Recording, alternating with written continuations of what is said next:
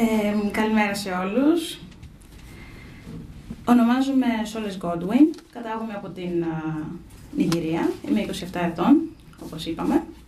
Λοιπόν, ε, ήρθα στην Ελλάδα στα 14 μου χρόνια. Είμαι μέλος της uh, επίσημης ομάδας δεύτερης γενιάς μεταναστών που λέγεται Generation 2O. Ε, θα ξεκινήσω με την δική μου ιστορία. Ε, το 2011 αποφύτησα από το Δημοκρίτιο Πανεπιστήμιο Θράκης, το τμήμα ιατρικής.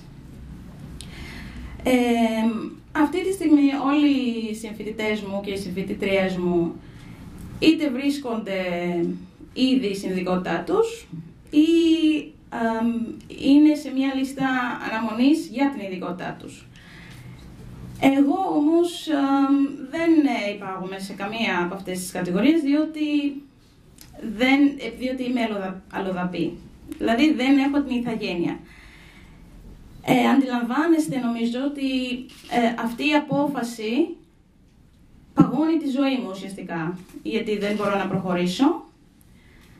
Ε, βρίσκομαι με ένα πτυχίο ιατρικής με το οποίο ουσιαστικά δεν μπορώ να κάνω τίποτα παρά κάποιες εφημερίες σε κάποιες ιδιωτικές κλινικές.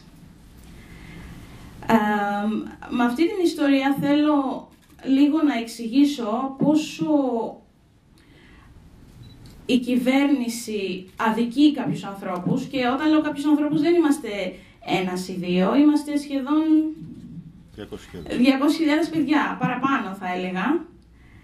Άρα, όταν κάποιος σπουδάζει, ε, πληρώνει φόρους και τέλος πάντων έχει όλους τους δεσμούς εντός εισαγωγικών που όλοι αναφέρουν τον τελευταίο καιρό, δεν καταλαβαίνω γιατί θα έπρεπε να θεωρούμαστε ε, πολίτες δεύτερης, τρίτης ή τέταρτης κατηγορίας.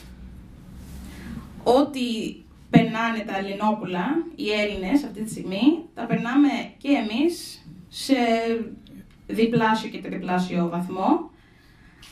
Άρα ε, θα, θα ήθελα να ξεκαθαρίσω και να κάνω πιο φανερό το πόσο άδικη είναι η απόφαση του ΣΤΕ, η οποία ουσιαστικά καταστρέφει ζωές αυτή τη στιγμή και ε, αρνείται να δώσει τα πραγματικά δικαιώματα στα παιδιά αυτή τη στιγμή. Θα ήθελα να, δεν θα ήθελα να, να πάρω πολύ από το χρόνο σας, απλώς θέλω να δώσω κάποια στατιστικά στοιχεία όσον αφορά την α, απόδοση ηθαγένειας σε άλλες χώρες.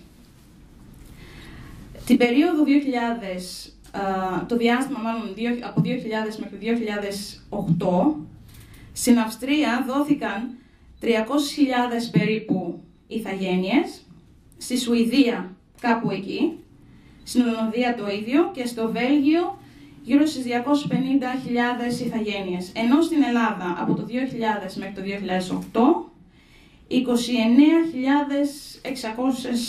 ηθαγένειες δόθηκαν. Νομίζω ότι αυτό κάνει ξεκάθαρο κάποια πράγματα. Δηλαδή δεν μπορεί η Ελλάδα να θέλει να θεωρείται Ευρώπη και Ευρωπαϊκή Ένωση και να βρίσκεται τόσο μακριά από την πραγματικότητα των άλλων χωρών που βρίσκονται μέσα στην Ευρωπαϊκή Ένωση. Ακόμα και η Ιταλία που θεωρείται ότι έχει από τους πιο αυστηρούς νόμους όσον αφορά την ηθαγένεια, έχει βάλει σαν στόχο την απόδοση ηθαγένειας σε όλα τα παιδιά ε, δεύτερης γενιάς. Άρα θεωρώ ότι η Ελλάδα θα πρέπει να ξυπνήσει, θα πρέπει να αφήσει στην άκρη τις ακροδεξιές αντιλήψεις και να δώσει πραγματικά δικαιώματα σε πολίτες της. Γιατί εμείς είμαστε πολίτες αυτής της χώρας. Δεν, δεν διαφέρει δηλαδή η ζωή μας από αυτό των Ελλήνων, είναι ακριβώς το ίδιο, ίσως και, και χειρότερα. Ό,τι ζει ο μέσος Έλληνας σε αυτή τη χώρα, το, ζούμε κι εμείς.